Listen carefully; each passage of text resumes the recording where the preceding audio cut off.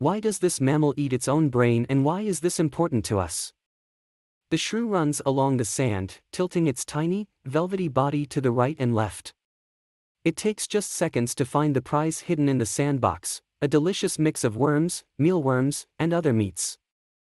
Finding out where the hidden food is isn't the only puzzle to be solved in Dina Dechmann's lab. Something even more surprising is happening inside the shrew's head, it has to grow its shrunken brain again. It's a crazy animal, says Dechmann, an ecologist at the Max Planck Institute for Animal Behavior in Germany. We can learn a lot from them. To prepare for the winter season when food is scarce, many animals slow their rhythm, sleep or migrate to warmer regions. But the shrew is not one of them. To survive the colder months, this curious member of the animal kingdom eats its own brain and shrinks it by a quarter to grow back in the spring. The ability to shrink enlarge organs with the seasons allows animals to reduce calorie-consuming tissue when the temperature drops, and it's called the Dehnel phenomenon. The shrew's miraculously shrunken brain deserves more than just a biological curiosity. Because understanding how these animals restore their brains could help doctors treat neurodegenerative diseases. Neurodegenerative is an inclusive term for a range of diseases that affect neurons in the human brain. As examples of neurodegenerative diseases, we can give Parkinson, SMA, Huntington, and Alzheimer's. I didn't quite get it at first. The way they react is really incredible, says John Dirk Nieland, Associate Professor of Health Science and Technology, who is now working on drugs designed to mimic the brain chemistry of shrews. Discovered by Polish zoologist Dehnel. Decades later, few scientists seem to have grasped the consequences of August Dehnel's 1949 discovery. Born in Warsaw, Dehnel spent the early years of his career working on bird eggs. Because of the Nazi occupation, his work on beavers and other mammals of Europe was interrupted. The young zoologist served in the Polish army during the war.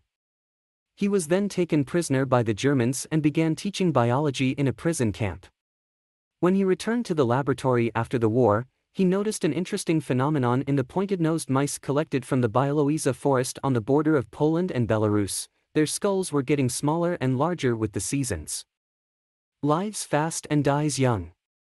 This animal, which is among the high metabolic mammals, relentlessly hunts for insects, spiders, and worms to survive. From the Scottish highlands to the Siberian tundra, it makes sounds and pitches inaudible to the human ear and uses sound vibrations to navigate underground.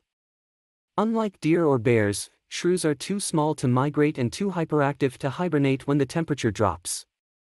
Their average lifespan is about two years, meaning they live fast and die young. Dechmann reports that their metabolism is not suitable for slowing down for hibernation. This makes it extremely difficult to contain these already nervous creatures in the laboratory environment. The shrew is one of the few mammals with a venomous bite. It also emits a foul odor to repel cats and other predators. Researchers keep their cages outdoors to acclimate the shrews to the seasons. Their metabolisms are so fast that Dechmann and his colleagues have a hard time calming them down to study. We can't put them to sleep, Dechmann says, because their unconsciousness poses the risk of starving. Bigger is not always better. These animals' strategy of reducing their brain power helps them conserve energy during the winter months, but this comes at a price, of course. A series of experiments by Dechmann and his team involving finding food in the sandbox reveals that large-brained shrews outperform their small-brained counterparts. They shrink their brains and conserve energy, but they're less good at solving some learning tasks, let's not say stupid, says Dechmann. But the real highlight starts after that, in the spring, their brains grow again, and their ability to solve lab puzzles is back. He tests his ability to navigate a maze made of Lego bricks. Yes, the striking thing about shrews is that they shrink their brains, but we also see them starting to enlarge in the spring, says Nieland, co-founder of a biotech company called 2N Pharma. The idea that a smaller brain is more favorable for some animals is hard to accept for many people, Dechmann says. He and his colleagues received hate letters after they published a study titled Bigger is Not Always Better, showing that some bats have evolved smaller brains to fly faster. The next step is to understand exactly how they achieved this. According to the findings of the research so far, the brains of our pointed-nosed friends do not grow back in the same way. For example, the hippocampus returns to normal while the neocortex does not expand. Both of these parts of the brain help with memory. And the lipid-rich white matter in the brain seems to be disappearing. This suggests that the tiny mammal may be consuming parts of its own brain so its body can survive the winter. Disruption of the white matter, which helps transmit information in the brain, is a symptom of neurodegenerative diseases.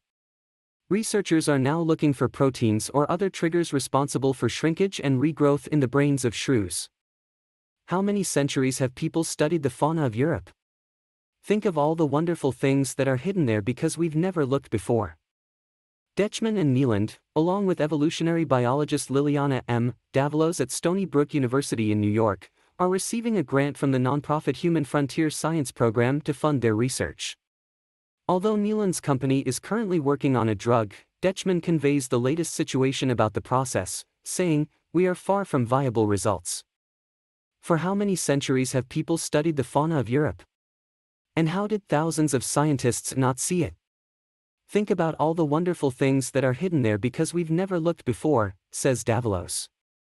For Davalos, finding such incredible talent in an animal right under the noses of European gardeners is remarkable in itself. According to him, the discovery shows that there is more to be found in the rainforests of the Amazon, Congo and elsewhere.